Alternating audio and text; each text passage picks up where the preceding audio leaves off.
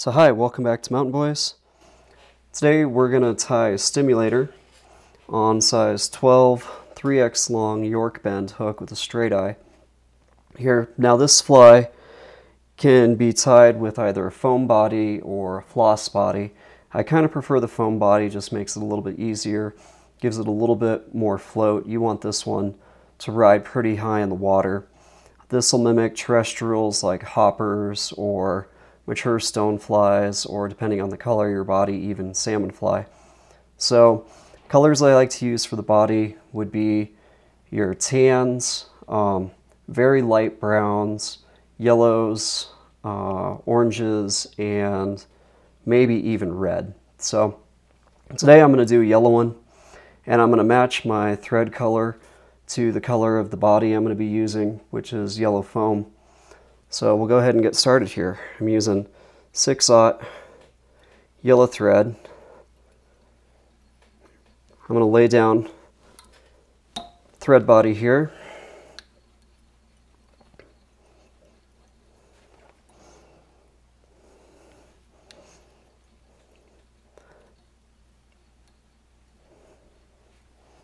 And you use quite a bit of thread here on the body.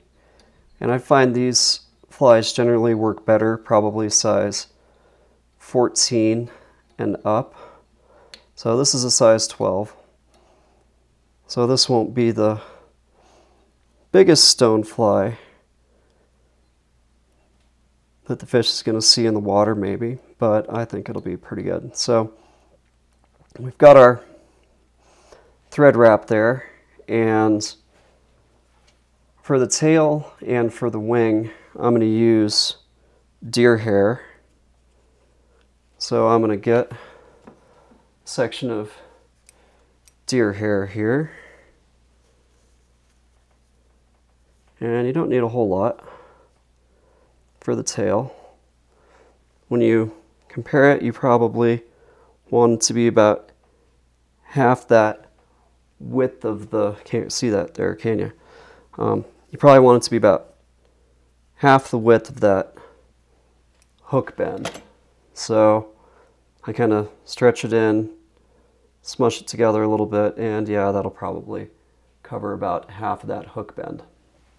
So that's what I'm going to use.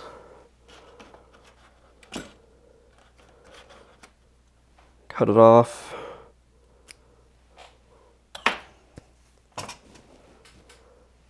Now I'm going to grab my hair stacker, wherever I set it. Somewhere here. Where is my hair stacker? Stand by. We're going to go ahead and cut while I find my hair stacker. Come here, you. Where'd you go? Okay, we're back. Found my hair stacker, and I've got the little clump of deer hair that I've gotten out now, cut out. And you'll notice there's a lot of fibrous material uh, in and amongst your deer hair. And you really want to get this out because this will absorb water when you tie your fly. So I like to just kind of flick it, tease it out maybe with your bodkin a little bit. You really want to get rid of all that extra fiber in there. Um, you don't need it. It's not going to do anything but just weight your fly down and absorb water, which for a dry fly is what we don't want. So kind of got it cleaned out on the back there. And oop, lost fiber. And I'll do the same on the front here. Just get that out of there. And a lot of that has to do with what time of year the animal was harvested at. So, a winter coat on an animal will have a lot more of that fiber in there than a summer coat.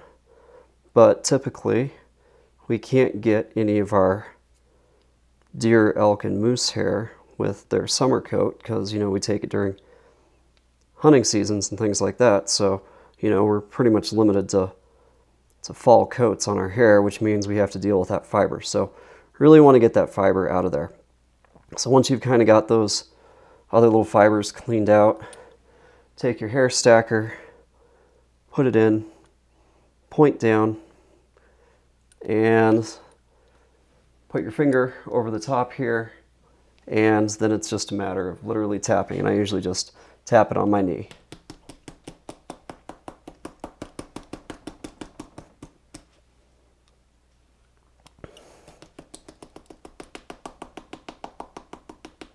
It's probably pretty good. Now I'm going to take it out, slightly angled down, carefully. And we'll see when we get it out here that all of our ends are nice and neatly stacked. So now that we have that, I'm to go ahead and run my thread back to the end here. and I'm going to tie in the tail. You don't want a very long tail on this fly. I would say no longer than half the length of the shaft of the hook. So about there looks good. So loose wrap, pull up, And deer hair spins very, very, very well. Deer hair is probably the best spinning hair there is. It's just a little bit finer than elk, which is finer than moose. And the finer your hair is, like this, the easier that it'll spin. So once I've got it there, I'm going to do a couple wraps until it's nice and secure. Now I'm going to come in and I'm going to trim off that excess hair. Just like that.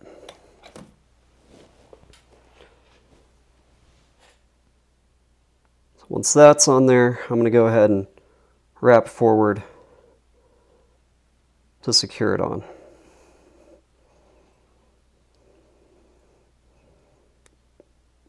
So there we go. We've got the tail done for our fly.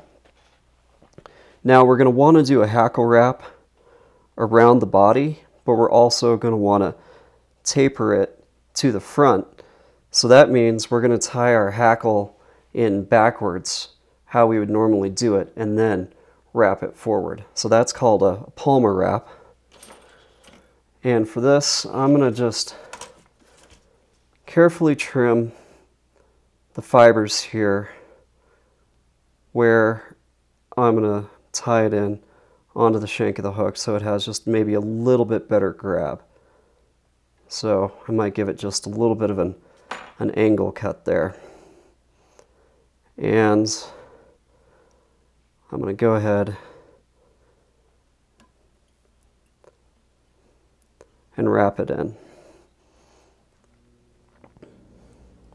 And you kind of want to make sure that wherever you end, those fibers will be immediately available to wrap. So once you have your thread back a little bit, you might just carefully pick some of those fibers out on the top side of that with your bodkin. Nice and secure. So now I'm ready to tie in my foam. So I've cut a strip of my uh, this is a little bit thinner than 2 mil foam, so I'd say this is probably 1 or 1.5 mil foam. I'm going to go ahead and give the end little spot.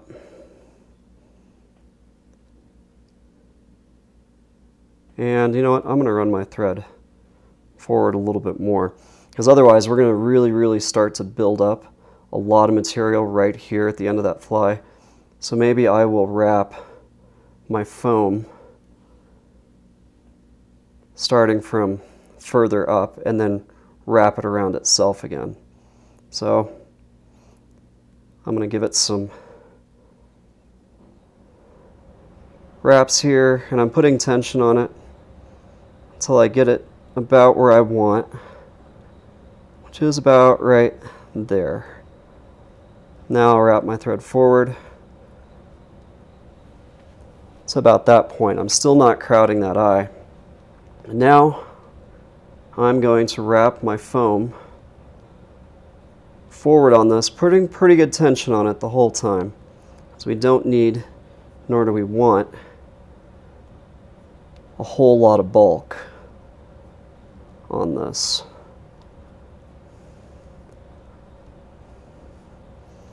So I'm wrapped forward to about there. I'm still holding tension. Now I'm going to go ahead and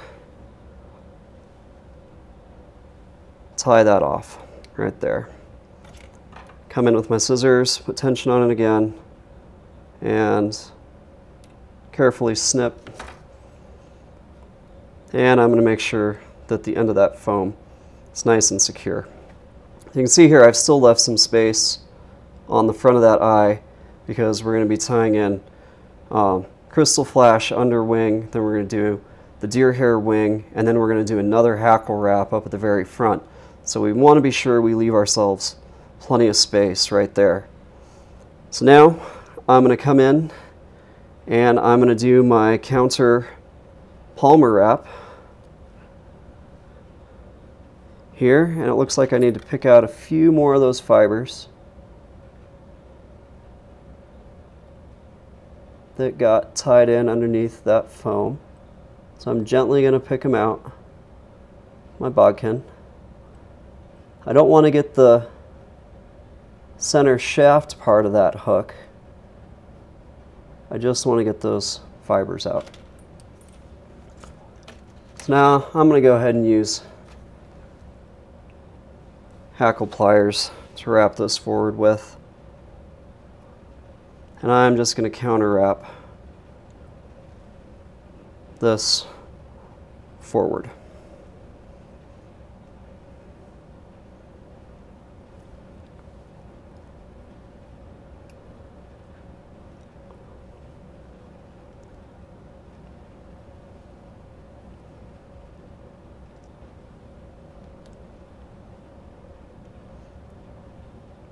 So it's about where I want.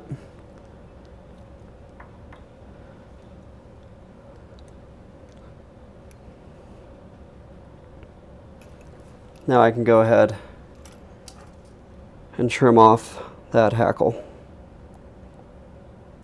I'm just going to push just like that. And you can see where the end of that is, so I'm going to give it a couple wraps. Make sure it's nice and secure.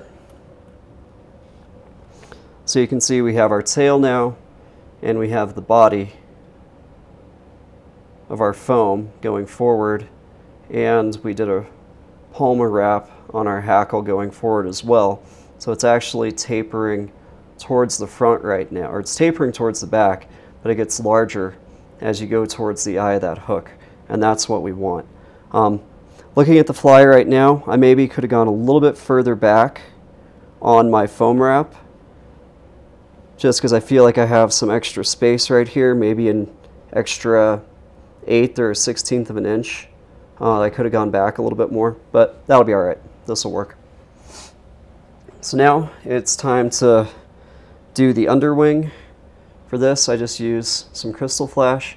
And you don't have to do this. I, I just like giving that underwing just a little bit of something else. So I grab one strand of crystal flash here and I kind of keep folding it in half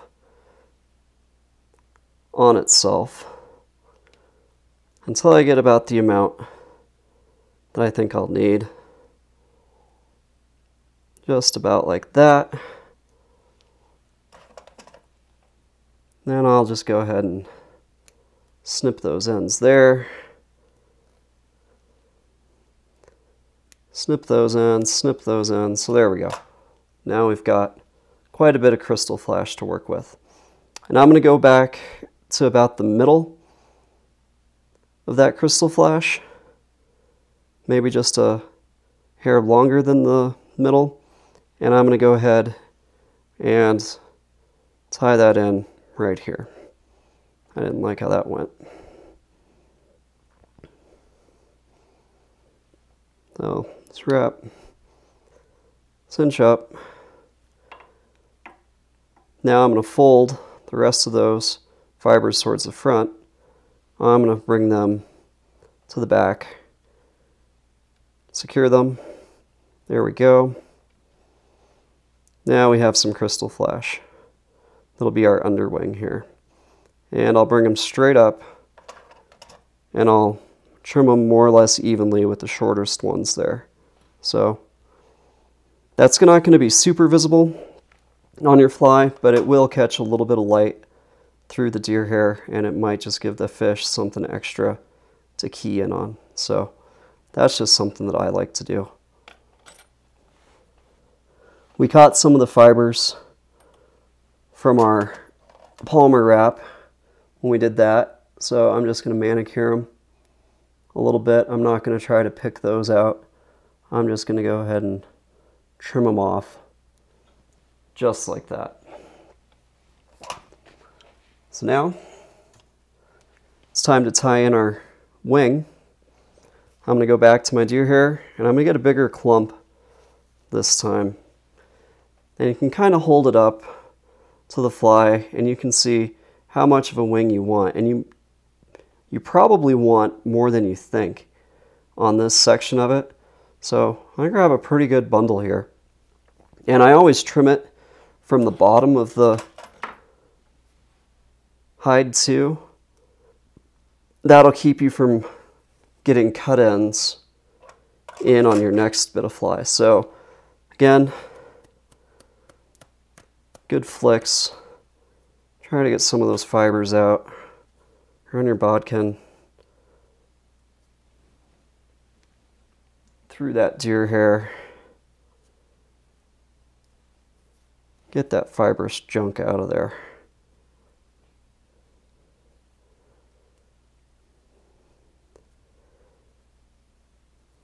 So the smaller the hair you have too, seems like the more fiber you have to deal with because elk hair doesn't seem to have near this amount of fiber in it as the deer hair can. So I got that end done. Flick this side. Clean it out some more. Clean it out some more. Run that bodkin up and down through the middle. Try to get the rest of that fibrous junk out. It sure helps keep the animal warm in the cold, but it's annoying for us right now to have to get this stuff out of here. That looks pretty good. So now, take this, I'm to put it in my hair stacker again. Tips in first, settle it down in there, and it's just time to start tapping.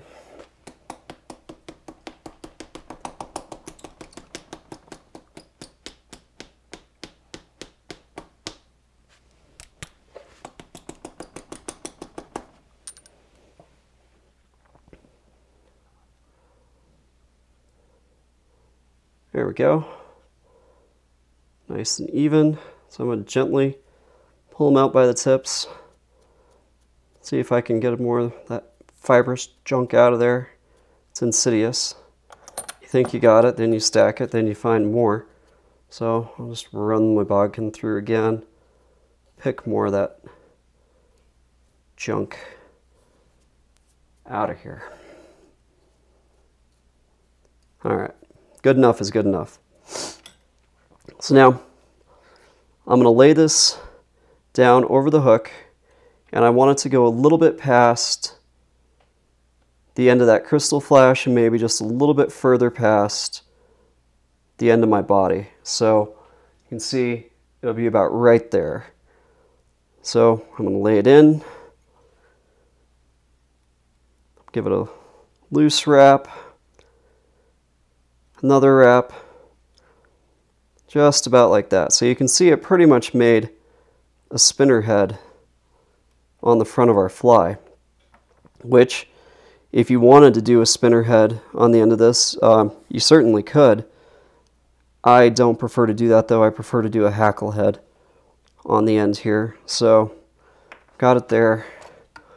Now I'm just going to trim off. Move my thread out of the way. I'm going to just start trimming.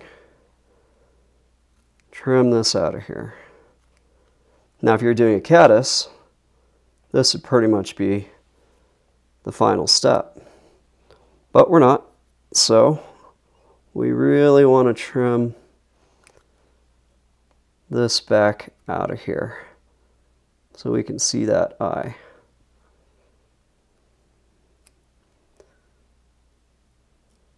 So I'm going to get as much as I can with my larger scissors here before I switch to my finer scissors.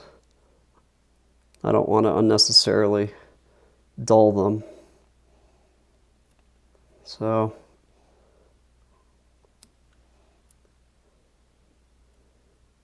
this is just trim, trim, trim. Come in with a finer pair of scissors. Do the same thing. Just trim them up. You're not going to get this perfect, nor should you probably try, because we're going to thread wrap back over this a little bit, and then we're going to lay in another hackle on top of that. So that's looking pretty good.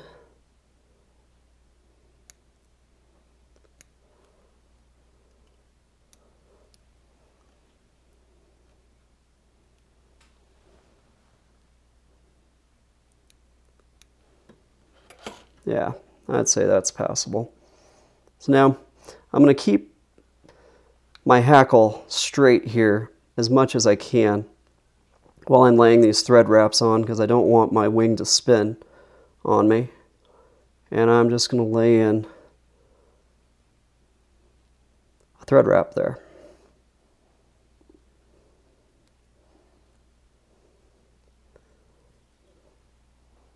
So now you see I've made a bit of a tapered head to tie in my hackle on. And a few more of those fibers like to jump out at you while you're doing this, so I'll carefully trim those off as much as I can. And this is why you don't want to crowd the eye while you're doing it, because it just makes it harder to work with. So I'm actually going to come a little further back on that too.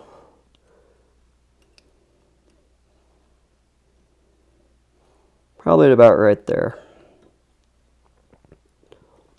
Now, got this next bit of hackle. And this is a good time to talk about your dry hackle too, and what you might consider to be dry hackle, but might actually not be the best for what you're doing.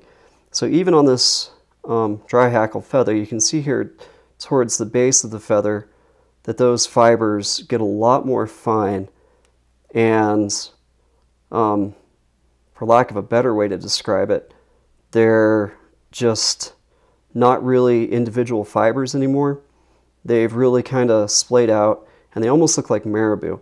So for a dry fly, you really don't want to use the ends of those um, feathers right there because like the like the extra fiber inside the deer hair, that right there will also hold water and weight down your fly.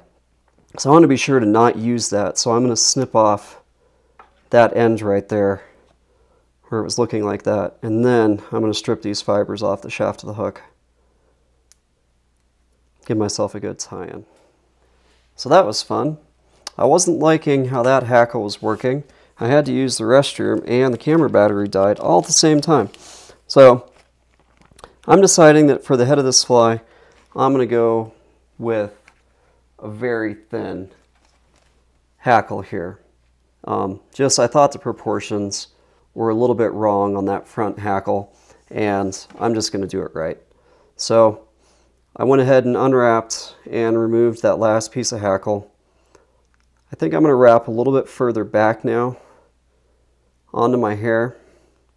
and give myself a little bit more space to tie in the hackle with and that'll also put my wing a little bit further down rather than just flaring straight up. So now I'm ready to get that smaller piece of hackle that I'd mentioned.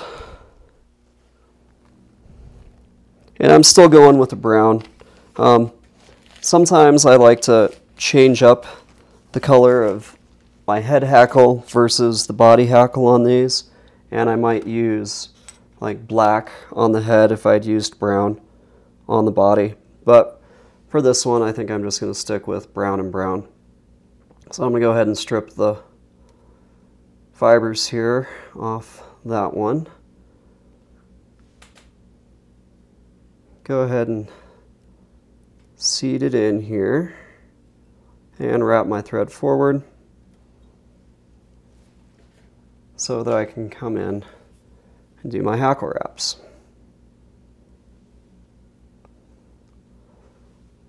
Yeah, I can tell you already that looks a lot better. So I'm going to wind these pretty tight on here. Not going to leave a whole lot of gap.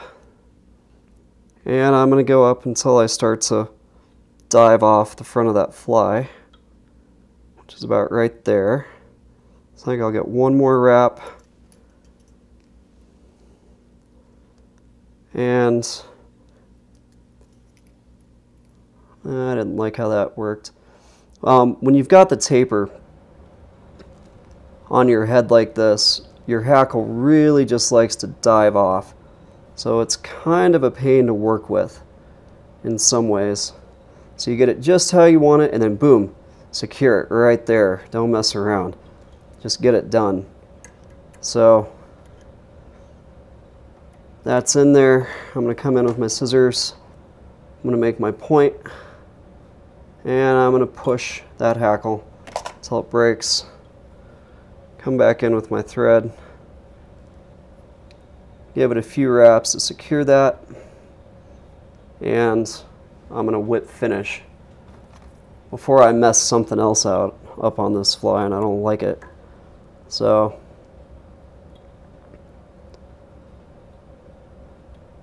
whip finish that head right there.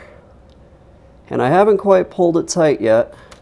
So I'm to see if I can pick any of those fibers out that it got caught. And I might not be able to. I don't think I'm going to be able to. So I'm just going to have to manicure this one a little bit and live with it that it didn't have the most perfect head. But it is what it is. So I got that kind of manicured. I'm going to cinch that knot in now. I still left myself plenty of room um, on the eye to be able to tie in my tippet. I didn't close the eye, but just to make sure I'll run my bodkin through there, make sure it's clear. And come in, snip my thread,